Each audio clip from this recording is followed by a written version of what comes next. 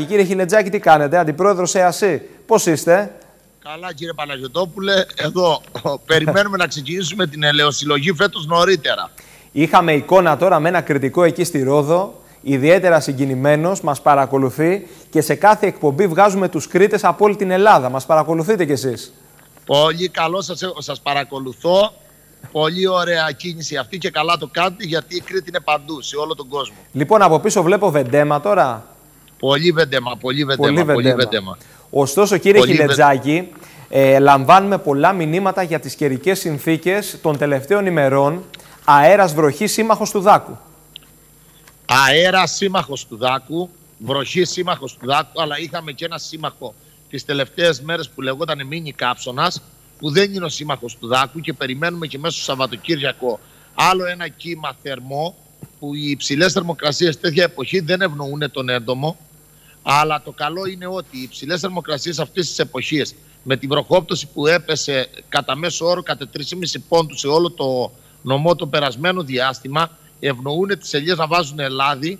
Πάρα πολλά ελεουργία έχουν κινήσει να αλέφουν και να λαδώνουν βιολογικές ελιές και περιμένουμε το πράσινο φως από την περιφέρεια Κρήτης να ξεκινήσουμε να παράγουμε πλέον και επίσημα το προϊόν που λέγεται αγκουρέλαιο, κριτικό αγκουρέλαιο που τα προηγούμενα χρόνια δειγματοληπτικά μας έχει δώσει πάρα πολύ καλά στοιχεία και εμπορικά αλλά και ποιοτικά. Ήρθε η ώρα και η Κρήτη μας να παράγει το αγκουρέλαιό της, γι' αυτό ζητάμε φέτος από την περιφέρεια Κρήτης. Σε όποιες περιοχές δεν έχουν σοβαρό πρόβλημα με το δάκο. Έχουν τελειώσει ο τέταρτος ψεκασμός ή και ο πέμπτος, αναλόγως στην περιοχή. Ζητάμε να δώσει το πράσινο φως της υπολοιματικότητας των φυτοφαρμάκων για να ξεκινήσουν νωρίτερα τα ελεουργία, να μπουν οι παραγωγοί νωρίτερα στα λιόφυτα και να μαζεύουν το αγκουρέλαιο που πραγματικά έχει μια ζήτηση τα τελευταία χρόνια. Σε... Στη Μεσαρά υπάρχουν ελεουργία, κύριε Παναγιωτόπουλε, που αλέθουν τώρα και 10 μέρες μπορεί οι αποδόσεις να μην είναι καλές, δηλαδή να είναι 7 μία, 8 μία, 8 κιλά ελιές,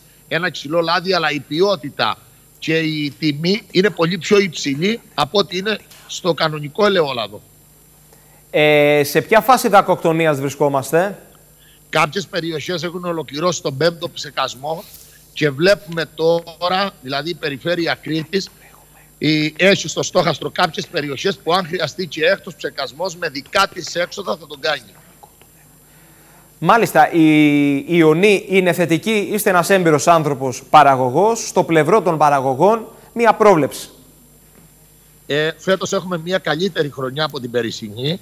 Προσπαθήσαμε όλοι και η παραγωγή αλλά και η περιφέρεια Κρήτης όλοι μαζί αλλά και το Υπουργείο που έβαλε το χέρι στην τσέπη και χορήγησε τα 2 εκατομμύρια ευρώ έξτρα από ό,τι ήταν η περσινή δακοκτονία, αλλά και η περιφέρεια Κρήτης που πήρε τη γενναία απόφαση να βάλει και αυτή περίπου 800 με 1 εκατομμύριο ευρώ χρήματα, αλλά και όλοι εμείς οι εμπλεκόμενοι φορείς, όπως είναι και η Ένωση Αγροτικών Συνεταιρισμών Ηρακλείου, που παραχώρησε 12 γεωπόνους στην περιφέρεια Κρήτης, ή Δήμο, ο Δήμος Αργανά Τερουσίων και άλλοι που έχουν παραχωρήσει προσωπικό για να γίνει μια σωστή δακοκτονία, αλλά και η ευαισθητοποίηση όλων των παραγωγών ε, θεωρώ ότι θα φέρει ένα καλό αποτέλεσμα φέτος. Υπάρχουν ε, τα προβλήματα με την δακοκτονία σε κάποιες περιοχές πιο έντονα από ό,τι είναι σε άλλες. Αλλά το νησί μας θα έχει μια πιο καλή βεντέμα, πιο καλό ποιοτικό λάδι. Αρκεί να ξεκινήσουμε να το μαζεύουμε νωρίτερα και να μπορέσουμε και να μπούμε και νωρίτερα στις αγορές.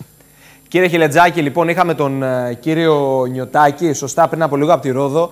Τον άνθρωπο τον έπιασα έτσι απροετοίμαστο, του ζήτησα μία μαντινάδα ο Μύρον ο Χιλετζάκης τώρα μπορεί να αφιερώσει μια μαντινάδα στους ροδίτες εκεί, στους κριτικούς που μας βλέπουν οι άνθρωποι να σηκώσουμε λίγο έτσι, να ανυψώσουμε το ηθικό; Ε, τώρα δεν είμαι καλός στις μαντινάδες, ναι. απλώς θα πω ότι ήταν μια μαντινάδα νομίζω του κυρίου Μαυρόκοστα που έχει στις σχολές ε, κριτικό χωρών ότι λαός που την παράδοση ξεχνά και δεν θυμάται στο λίθαργο του μαρασμού παντοτιμά κοιμάται. Μπράβο. Η ελαιοκαλλιέργεια είναι παράδοση, η αμπελουτζία είναι παράδοση.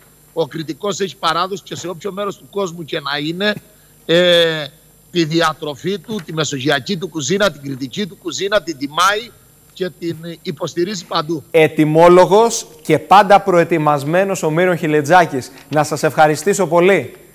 Να είστε καλά, καλό απόγευμα. Ευχαριστώ πολύ.